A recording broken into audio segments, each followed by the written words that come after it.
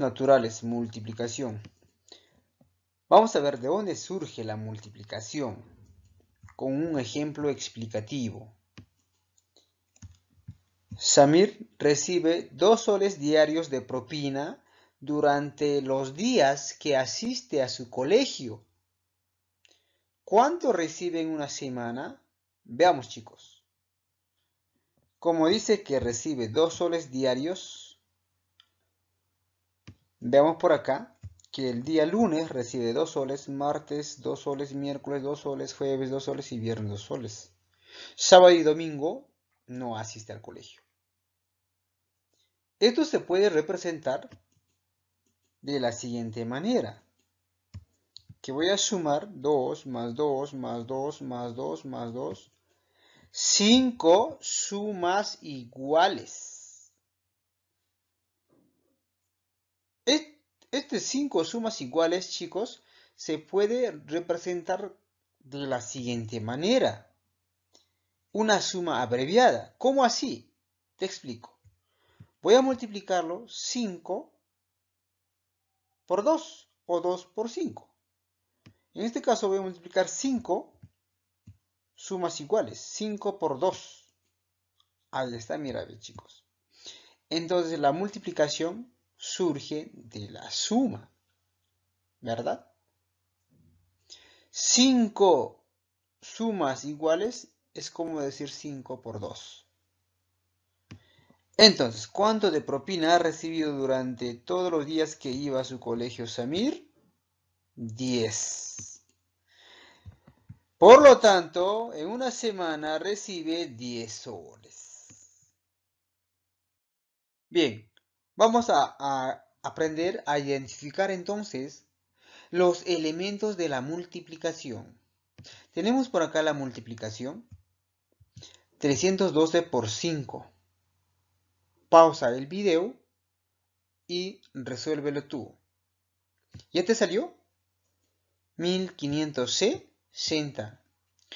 Antes de mencionar a los elementos de la multiplicación, vamos a aprender algo.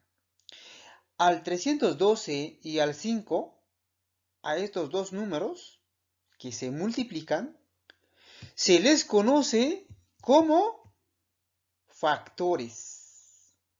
Ahora vamos a representar a los elementos de la multiplicación. ¿Cuáles son los elementos?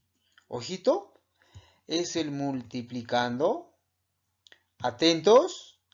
El multiplicador. Y finalmente tenemos al producto.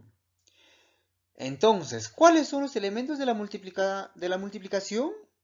El multiplicando, el multiplicador y el producto. ¿Y cuál es el multiplicando? El 312. Estoy acá.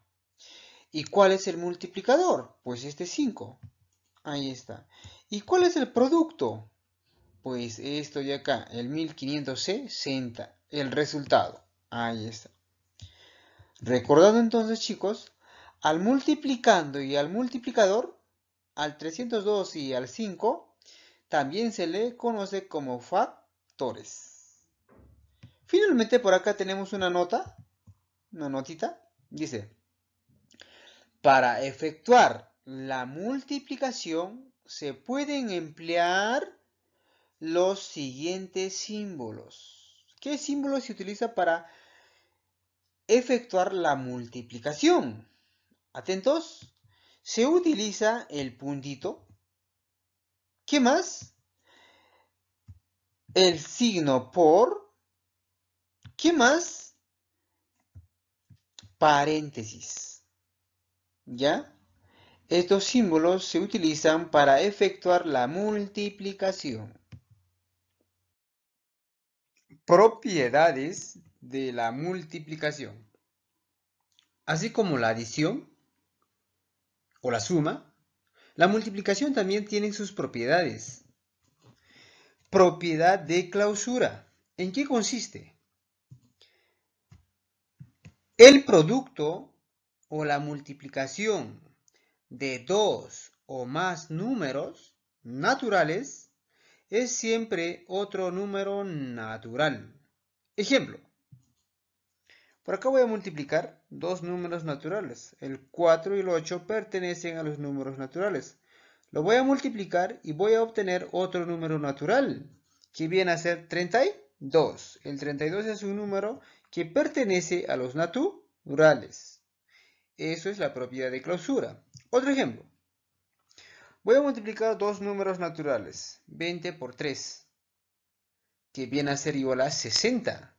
Y 60 pertenece a los números naturales. Eso es la propiedad de clausura.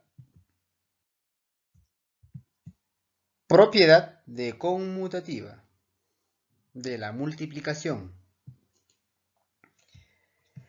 El orden de los factores no altera el producto. Ejemplo. Voy a multiplicar por acá. 7 por 6 es igual a 42. Y al revés. 6 por 7 es lo mismo. 42. Entonces, el orden de los factores no altera el producto. ¿Cuáles son los factores? 7 y 6. Eso ya aprendimos. Entonces por acá me sale 42. Entonces, chicos, la propiedad dice, el orden de los factores, 7 por 6, es igual a 6 por 7. Porque sale el mismo resultado. Esa es la propiedad de conmutativa. Propiedad asociativa. El producto o la multiplicación de varios números naturales no depende del orden en que los asociemos. Profe, no entiendo. Ejemplo. Te explico. Voy a multiplicar por acá, chicos, tres números. 2 por paréntesis 3 por 4. Estoy asociando 3 por 4. Esto va a ser igual. Por este lado le voy a asociar 2 por 3. Los mismos factores que encontramos acá, los mismos números que encontramos acá. Y voy a multiplicar por el tercer factor, que es 4. ¿Ya? Eso es lo que quiere decir, mira, ve. La multiplicación, el producto de varios números naturales, no depende del orden en que los asociemos. El orden no altera el producto, me quiere decir, chicos. Muy bien. Ustedes saben que primero se opera por el paréntesis. 3 por 4, 12. 2 por 3, 6 este operador, este número, perdón, este factor baja. Igual, también baja. Y este factor también baja. Muy bien. Ahora vamos a multiplicar 2 por 12, 24. Y 6 por 4, 24. ¿Qué te diste cuenta, muchacho? ¿Qué te diste cuenta? Que acá hemos agrupado 3 con 4 y acá hemos agrupado 2 y 3 hemos asociado, también se les dice. Y cuando operamos, me sale el mismo resultado. Esa es la propiedad asociativa. Propiedad del elemento neutro de la multiplicación. El elemento neutro de la multiplicación es el 1. Ejemplo. Que todo número multiplicado por 1 siempre me va a dar el mismo número. 15 por 1 es igual a 15. 20 por 1 me va a dar 20. Entonces, el elemento neutro de la multiplicación es el 1. Elemento absorbente. El producto de uno o más factores por cero, el resultado es cero. En otras palabras, la multiplicación de un número por cero o varios números multiplicado por cero, el resultado va a ser cero. Ejemplo, 18 por 0 es igual a 0. Otro ejemplo, 3 por 5 por 0 es igual a 0. Entonces, el elemento absorbente de la multiplicación es el 0.